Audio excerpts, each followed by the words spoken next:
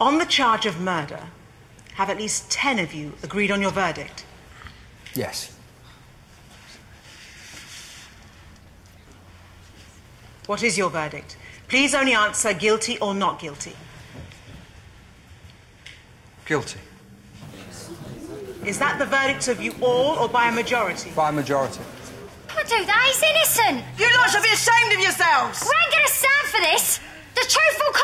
truth will. Just you wait. Quiet in the court or I will have you removed. But he's innocent. Don't you get